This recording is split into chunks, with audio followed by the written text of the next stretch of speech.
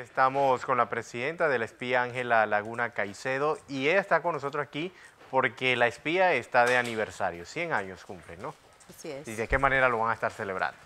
Bueno, ciertamente durante este año estamos cumpliendo los 100 años de la espía.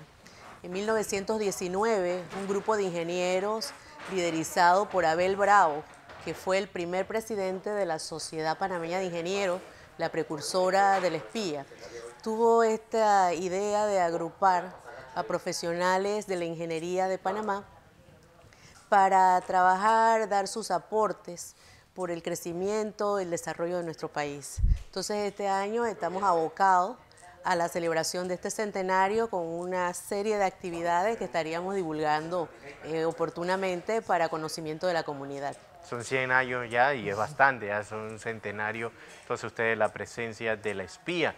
Pero vamos a aprovechar su, presencia, señora Laguna, para preguntarle sobre toda esta situación que se están dando en algunas construcciones. Vía Argentina no sale de esos problemas. Ahora nos enteramos que el IDAN no entregó eh, un, proyecto donde dijeran dónde estaban las tuberías y al parecer ahora van a tener que levantar nuevamente para esas instalaciones. Sí, por eso es la insistencia de nuestro gremio de servir como un ente consultor del Estado.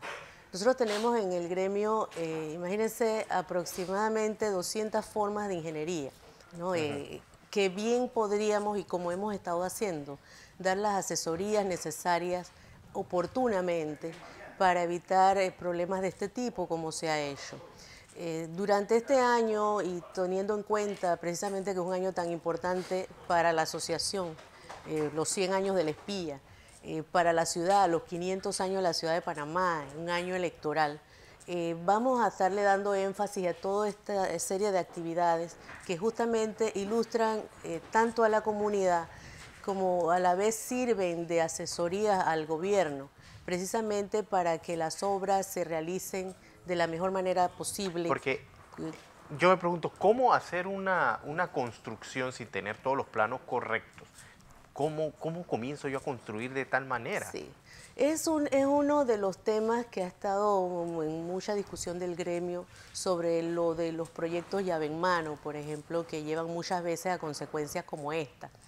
Precisamente por eso también hemos estado trabajando, estamos trabajando para lograr la participación de los candidatos presidenciales en un foro, uh -huh. en que precisamente se les entregue a ellos esta serie de preocupaciones que ha tenido el gremio y que lo ha estado advirtiendo en, en los debidos momentos con las diferentes obras, precisamente para que sean considerados en los nuevos planes de gobierno y puedan evitarse situaciones como las que menciona y muchas otras que están relacionadas sí, con este mismo problema otro de los problemas, no solamente de Vía Argentina, sino nos vamos a la avenida Omar Torrijos, que han devastado a diestra y siniestra, y lo mismo en Lomacobá, como que vamos Así a destruir es. todo y después sí. vemos qué hacemos. Sí, sí.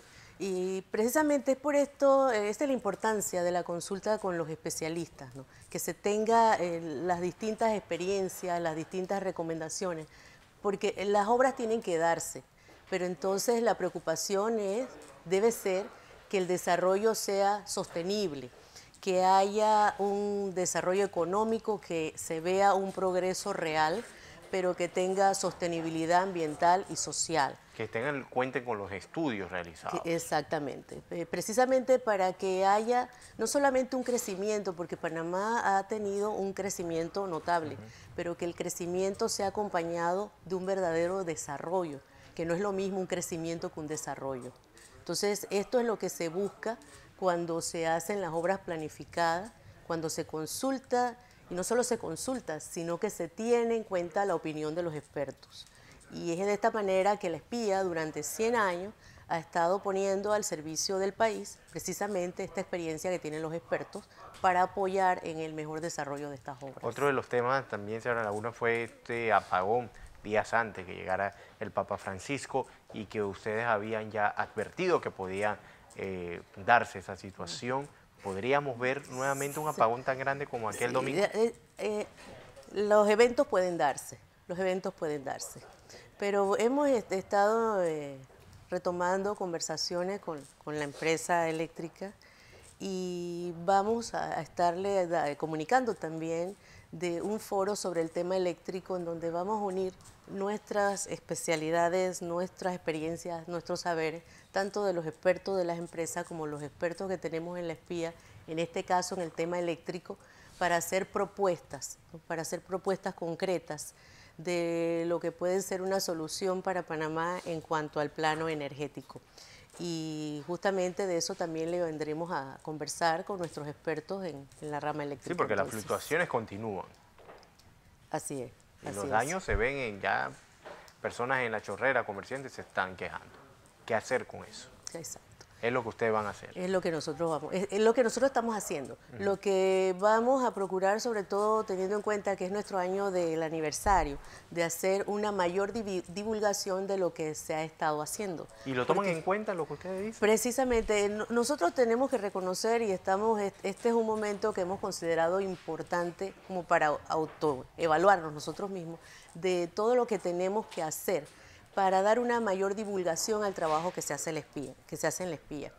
No solamente en la espía, sino también, y vale la pena eh, resaltar el día de hoy, que mientras que la espía cumple 100 años de creación, eh, este año también, el 26 de enero precisamente, la Junta Técnica de Ingeniería y Arquitectura cumplió 60 años de fundación.